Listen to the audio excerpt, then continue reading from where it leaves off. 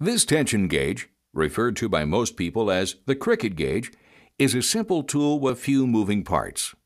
Unfortunately, most service technicians don't use any kind of tension measuring device, instead, relying upon the calibrated thumb method.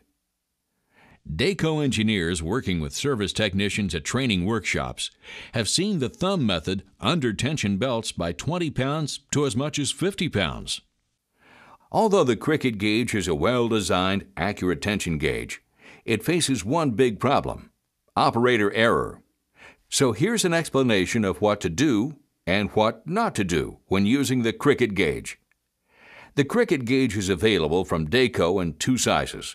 The smaller size is for V belts up to 7 eighths of an inch wide, with a tension range of 30 to 150 pounds or 14 to 70 kilograms. The larger size fits poly rib belts with up to 14 ribs, with a tension range of 100 to 300 pounds or 45 to 135 kilograms. To use the Krikit gauge, insert your finger under the rubber strap and onto the pressure pad. For illustration, we'll use a belt installed on a laboratory test machine. Place the gauge on the back of the belt, not the rib side, centering it across the width of the belt and as close as possible to the middle of the belt span. It's critical that the widened area on the bottom of the gauge lay flat on the back of the belt and parallel with the belt edge when performing the tension measurement. Once the gauge is placed correctly, the next step is to slowly depress the pressure pad, pushing the Krikit gauge perpendicular to the back of the belt. The slower you go, the better chance you have of stopping immediately after the click to get a correct reading. If you push too fast, you'll overshoot and a faulty reading will occur.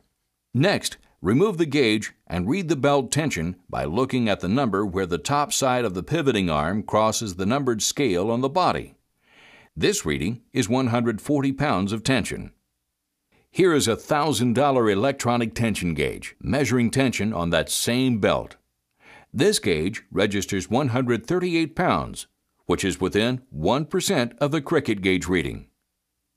The extra few seconds it takes to use the Krikit gauge carefully and correctly will be rewarded with accurate tension readings, especially when compared to the much overused calibrated thumb method.